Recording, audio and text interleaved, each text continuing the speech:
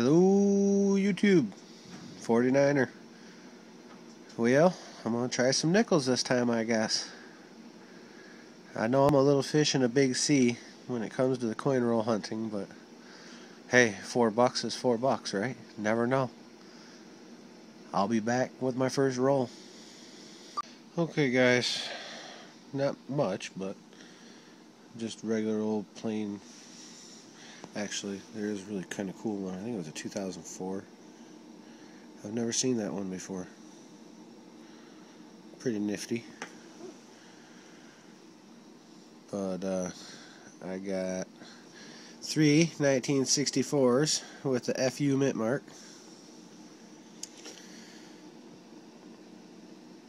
We got 2005, two 2006s one 2008, one 2011, yeah, two, two 2012s, and two 2013s. Um, if I'm not mistaken, they're all P's. That that was 2011's a D.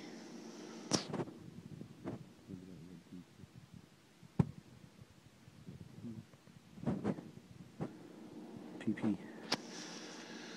Okay, I got one more to slide in here though. Sorry, Drew. 2009. My first coin roll nickels hunt.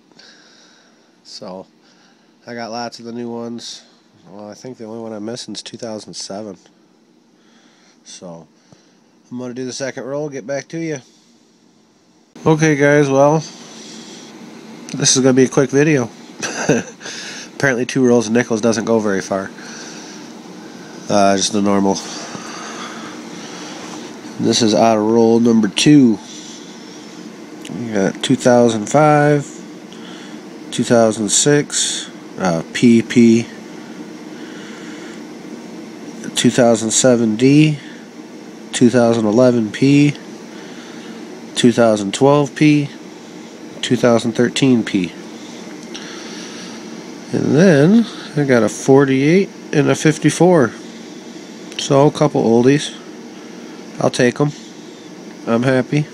So, uh, leave some comments. Let me know anything I could do to make the video more enjoyable, I guess.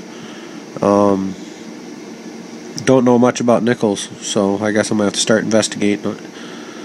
But either way, happy hunting, good luck. Thanks a lot for watching, guys.